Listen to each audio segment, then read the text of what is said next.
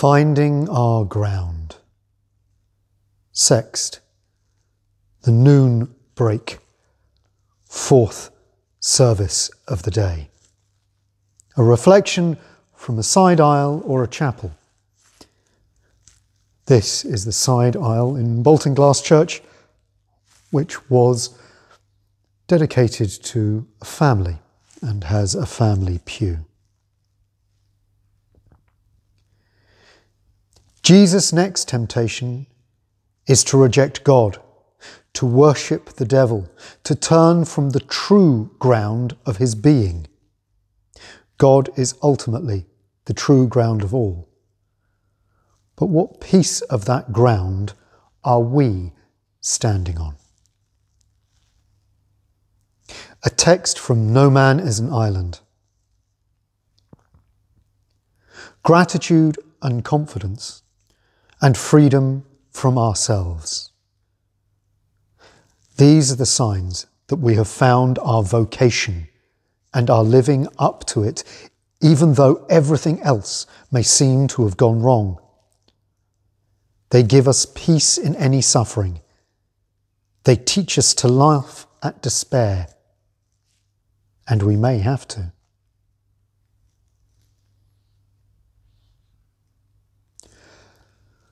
Post war America was committed to the pursuit of the American dream of individual material success. A religious expression of this was the power of positive thinking as expressed by Norman Vincent Peale. Merton, in No Man is an Island, challenges the worldly orientation of this self improvement religiosity as aligned with the American dream of material success. Merton was a religious contrarian who opposed secular orientation of religious practice as associated with material success and the debasement of religious language for secular material advantage. Merton was a critic of religiosity precisely because he was journeying in his search of a true religion of the heart as the ground for authentic social and political transformation that today we may call social justice as based on inclusion.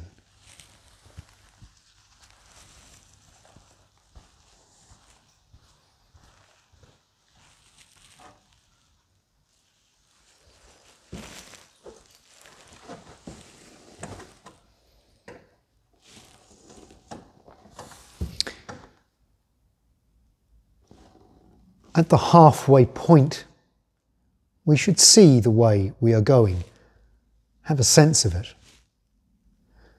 We should have settled into a rhythm, a way of being that is once our means of motion and our motivation to be moving. I think that's what I think of when I think of vocation. There is no way to happiness, happiness is the way. To say that somebody is a sailor implies an attitude and an orientation as well as an action. And so it is with vocation. When attitude and action are together, they can withstand much.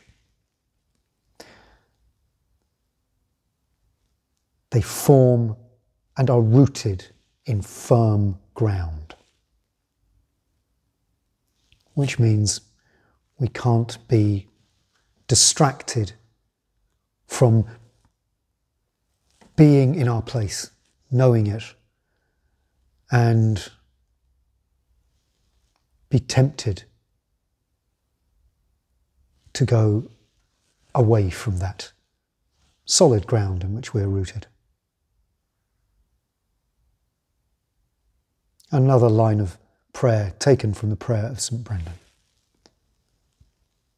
Christ of the mysteries, I trust you to be stronger than each storm within me.